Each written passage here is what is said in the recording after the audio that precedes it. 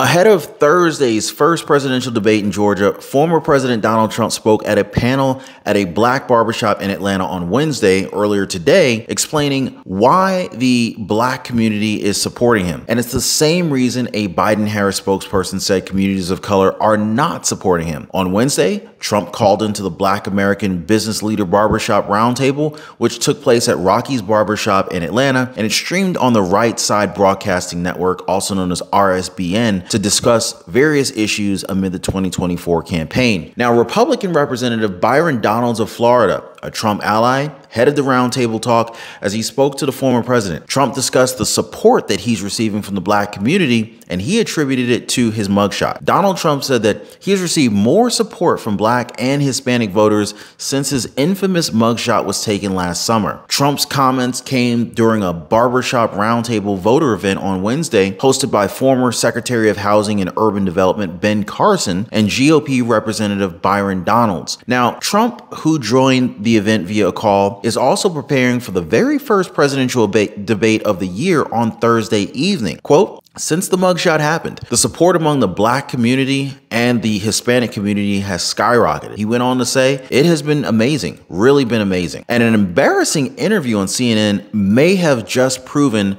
President Donald Trump to be right about the entire news network. Now, a lot of critics are saying that CNN has been one of the mouthpieces for the Biden administration. And with them handling this debate between President Joe Biden and former President Donald Trump, it's pretty clear that there's something wrong going on here. Now, Trump on his end has not backed down fr from, you know, with any challenges made to him by President Joe Biden, even if it means that their debate will be moderated by a news outlet that's obviously biased against him. Now, the idea that some suggest is is that Trump he's just ready for all the punches even if it's an unfair fight. Now this was proven when CNN chose to cut an interview short when the former president's spokesperson was invited for an interview. Now you got to think guys, why would they interview someone and then just, I don't know, suddenly just cut the mic on that person. Well, that part is still unclear, although supporters of the former president, they're saying that CNN is just afraid of the facts that might come out. There are those who say that they're liars and that they thrive off of Americans who are ignorant, those who believe anything that's told to them. And if the truth is ever revealed, then, well, these same people would revolt against CNN. By the way, guys, if you haven't already, I just want to thank you all so much for always hitting the like button for the videos.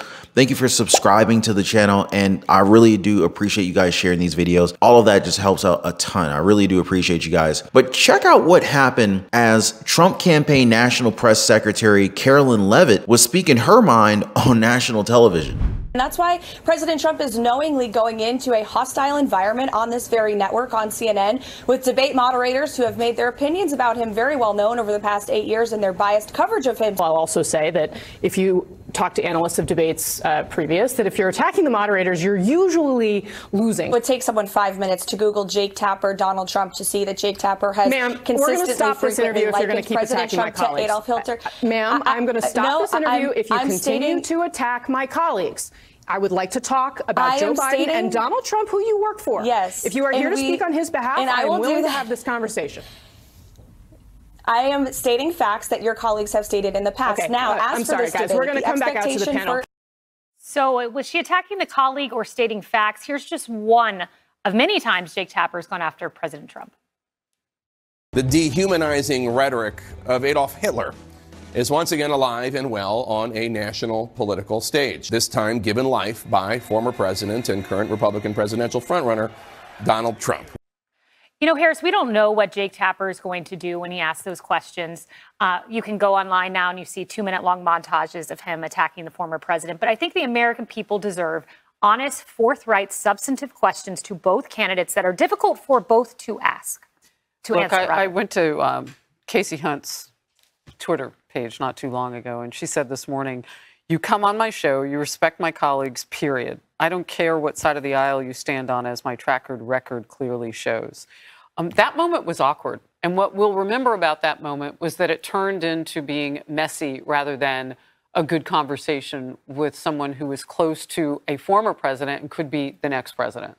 And that's unfortunate. Now, what do you guys think? Was she just stating facts? And was CNN just allergic to hearing the truth? Because we know that these mainstream media news outlets, they've lied to us before. And it's not rare to be lied to by these people. I mean, in fact, it's more of the norm when it comes to the news that most of us hear on, on legacy media. It's as if CNN is like taking notes from District Attorney Alvin Bragg because he just wants Donald Trump to shut his mouth about his conviction. He can't talk about how the judge in this hush money trial has a daughter making millions of dollars off of top Democrats. Just the fact alone, that one fact alone, has a lot of people questioning if Donald Trump ever had a fair trial in New York. And, you know, it's kind of why, you know, his supporters and even those who speak to the former president, they're asking if anything else will be will be fair until we get to November. Now, do any of you guys think that this is unfair for Trump? I mean, serious question. Or are these news outlets doing the right thing? Now, speaking of, kind of looks like we've actually got more bad news for President Biden. Do you guys remember President Joe Biden's plan to forgive student loans? So he kept pushing the issue, even though he knew that he had no authority to do something at this scale, right? Well, he kind of announced it multiple times before a crucial election in hopes, in hopes of getting more votes.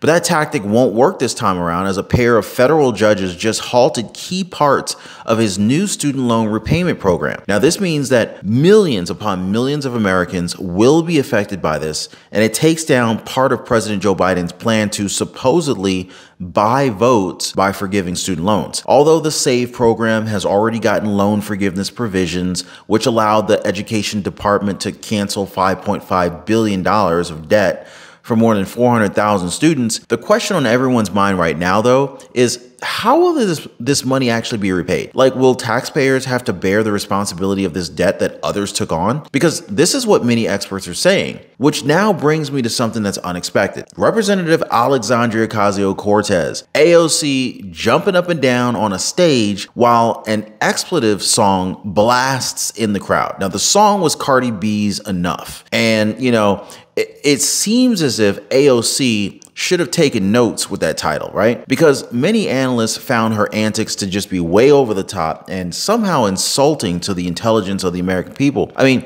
there are those who say that antics like these, they're effective for third world nations, with the argument that loud music and dancing can lead to votes. Now, what makes the scenario even worse is that the lyrics of the song that, that was chosen for her, they were not appropriate. Not for a diverse crowd, not for kids to be in the crowd. Now, you know, I'm not really sure if like how many kids that there were in this rally, but I know that there were kids. But just to kind of give you an idea, the song contains words that would probably get this video removed from YouTube or at least demonetized. And ultimately, AOC decided that it was perfect to use it in her rally to rally her supporters. So I don't know, guys, go figure. And since we're on the topic of supporters, President Joe Biden, he just lost one. Allison Hunn, a former fundraiser for Barack Obama, has said that she's now voting for Donald Trump for the first time and is divorcing the Democratic Party. That's right. She's standing up and turning her back to the Democratic Party, guys. In fact, it's very clear that this is now the new norm with these in, in the left as more and more are actually leaning toward Donald Trump. I mean, the, the number of people leaving the left is just astounding. Allison on her end says that she's pretty happy with how knowledgeable Trump is about, you know, what's going on with the country and with the economy. Something that many cannot say about President Biden. Now, Democrats, they're clinging on to support wherever they can get it. I mean, unfortunately, we're seeing multiple revelations this year about how corrupt some of them are. I covered this in a previous video with you guys that you definitely need to check out right after this one. Uh, basically, let me just give you a quick heads up. The rabbit hole keeps getting deeper and deeper and deeper. Definitely check that video out right after this one. I'll leave a link for it either here or here, somewhere around here. Definitely click check check that video out right after this one. But as always, I really appreciate all of you guys. Thank you so much for hitting the like button. Thank you so much for sharing these videos and subscribing to the channel. And I can't wait to see you guys on the next one.